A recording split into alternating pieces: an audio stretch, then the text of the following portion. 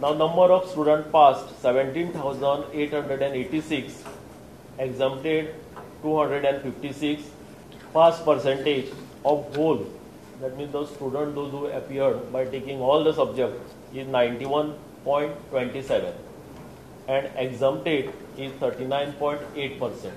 So this year's result is 91.27 percent. Uh, passing percentage of boys is 88.69. Girls and the percentage is 90.49. 78 uh, schools secured 100% result. Special schools uh, securing uh, 100% result, 100% result. Sanjay Center for Special Education Porvorim.